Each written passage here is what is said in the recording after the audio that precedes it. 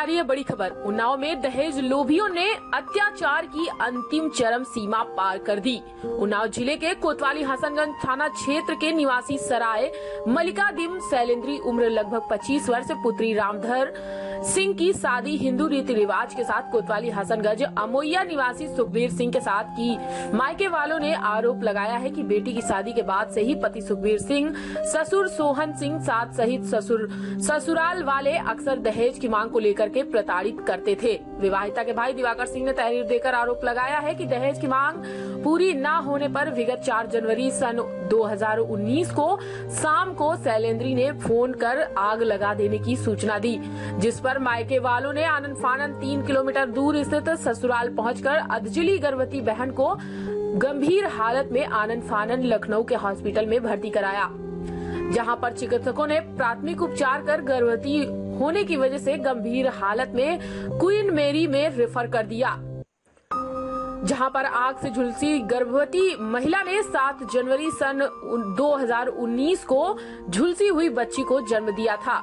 इलाज के दौरान दोनों की हुई मौत के बाद भाई दिवाकर सिंह ने पति सुखबीर सिंह, ससुर सोहन सिंह व सास को नामित करते हुए तहरीर हसनगंज कोतवाली को दी है। दिवाकर सिंह ने बताया है कि पति सुखबीर सिंह, ससुर सोहन सिंह व सास ने केरोसिन डालकर बहन शैलेंद्री को जलाया है।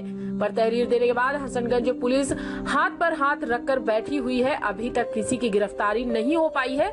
दिवाकर सिंह ने बताया कि पुलिस ने अभी तक किसी की गिरफ्तारी नहीं की है।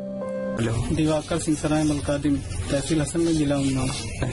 मेरी बहन को सुखबीर सिंह व उनके पिता सोहन सिंह व उनकी माता तीनों लोगों ने मिट्टी का तेल डाल के जला दिया। कहाँ? वो वो लोग ग्राम अमुया तहसील हसन में जिला उन्नाव के रहने वाले हैं। फिर? मैं उनको लेके सीधे लखनऊ सिविल ले गया। फिर उसके बाद में हमारी बहन के पेट में बच्चा था, जिससे उसको मुंबई रेफर किया गया।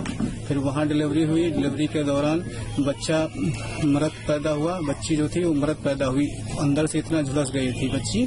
मर गई थी, एकदम झुलस गई और पैदा हुई। पुलिस को तहरीर दी है सर।